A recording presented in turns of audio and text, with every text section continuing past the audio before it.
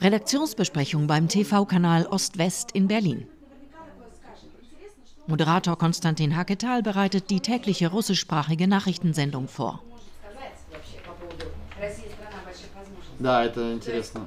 Wir berichten über heutige Konferenz von Putin in Moskau, ähm, äh, der immer noch glaubt, dass die Wirtschaft, russische Wirtschaft wird äh, sehr standhaft äh, alle Sanktionen überwinden. An diesem Tag wird wie immer mittags um 12 entschieden, was heute wichtig ist, was gesagt und was am Abend gezeigt werden muss. Zuständig ist Chefredakteurin Maria Makieva. Sie war früher stellvertretende Chefredakteurin von TV Dost, des letzten unabhängigen Fernsehkanals in Russland. Der Sender wurde Anfang März von Behörden gesperrt. Uh, I'm a journalist. All I can do, all I, all my life I wanted to do, just do my job. And this is my job to tell what's going on. This is the war. Point. Hier wird das Wort Wojna, Krieg, demonstrativ benutzt. In Russland drohen dafür bis zu 15 Jahren Haft. Makieva leitet seit 2016 die kleine Redaktion. Das etwa zehnköpfige Team aus Russen, Ukrainern und Deutschrussen aus Kasachstan arbeitet seit dem Beginn des Krieges im Ausnahmezustand. Es ist äh, für jeden auch psychologisch belastend, äh, diese Ereignisse, weil die sind quasi äh, bei dir zu Hause ähm, stattfinden und ähm, du hast Freunde, du hast Verwandte, auch in der Ukraine, auch in Russland. Äh, so oder so äh, ist äh, jeder von uns betroffen. Konstantin Haketa lebt seit 2008 in Berlin. Er zog damals aus privaten Gründen von Moskau hierher.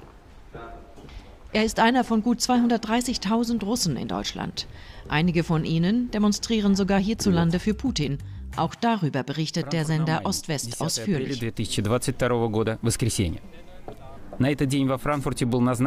Leute, die pro Putin sind und leben hier in Deutschland, ähm, die kann ich nie so richtig verstehen, weil die haben Zugang zu allen Informationsquellen. Die leben hier in Deutschland und genießen sozusagen diese, äh, Demokratie und trotzdem irgendwie an Putin glauben. Da muss wahrscheinlich, das ist die Sache von Psychotherapeut. Die Spaltung in der Community ist vor allem auf den Social-Media-Plattformen sichtbar. But sometimes people are saying uh, that we are doing fake and that we are liars because there is no this bad situation in Mariupol, for example, and so on. I think that's it's trolls, Putin trolls, something like this, or some people. So we have we have a lot of hate, but we are okay with this. Seit 1996 ist Ost-West auf Sendung. Zu sehen ist der Privatsender über Kabel und Internet. Finanziert wird er über Kabelabonnenten und Werbung. Die Aufgabe, die sich der kleine Sender gerade in der heutigen Situation täglich stellt, ist beachtlich. Aufklärung für die russischsprachigen Communities in Deutschland und weltweit. In Russland ist Ost-West noch übers Internet zu empfangen. Uh, our main concern was uh, people here in Germany and probably in Ukraine and on the third place in Russia. Now we understand that we have to show something to people in Russia more than we did before. We have to do this. Der putinsche Würgegriff gegen die Medien ist über die Jahre immer enger geworden. Auf der Rangliste der Pressefreiheit steht Russland heute auf Platz 150 von 180. Reporter ohne Grenzen dokumentiert seit Jahren die Kreml-Taktik. Immer mehr Gesetze beschränken die Medien- und Internetfreiheit. Wer als Journalist Geld aus dem Ausland bezieht, gilt automatisch als ausländischer Agent. Beiträge müssen entsprechend markiert werden, ansonsten droht Haft.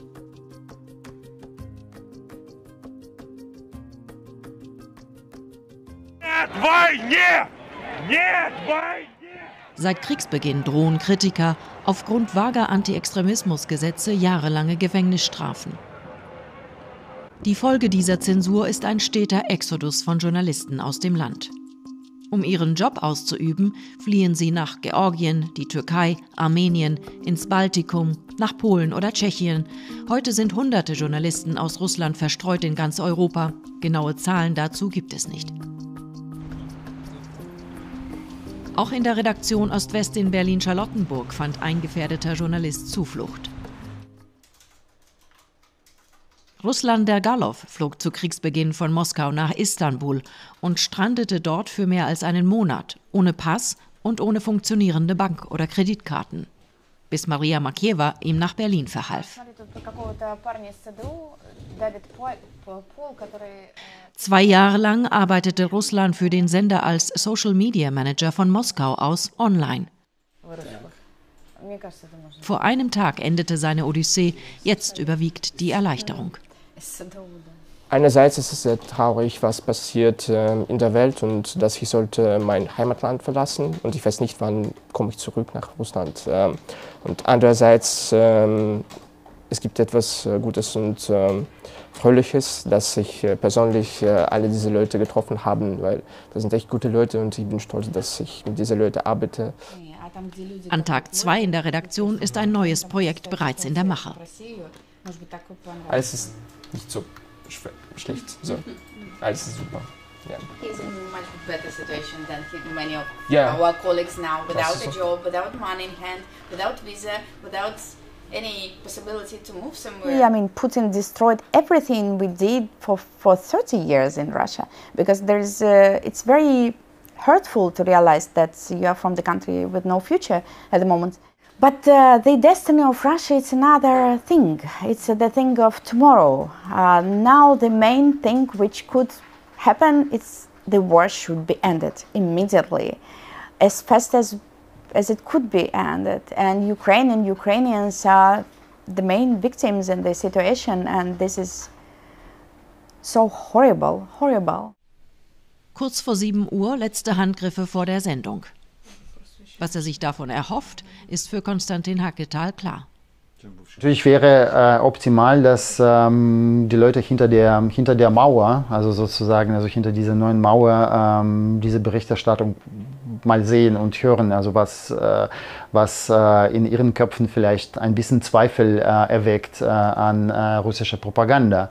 Klar, ich, ich werde nicht jeden erreichen, aber wenn ich ein paar Leute erreiche, ist es schon, ist es schon Erfolg. Die Bilder zu zeigen, Kriegsverbrechen als solche zu benennen, das verstehen diese Journalisten als ihre Aufgabe. Und das wird von diesem kleinen Studio aus auch an diesem Abend um 19 Uhr passieren, wie an jedem Werktag. Добрый вечер и гутен Abend, говорит и показывает Берлин. В эфире программа новостей на немецком телеканале Ост-Вест.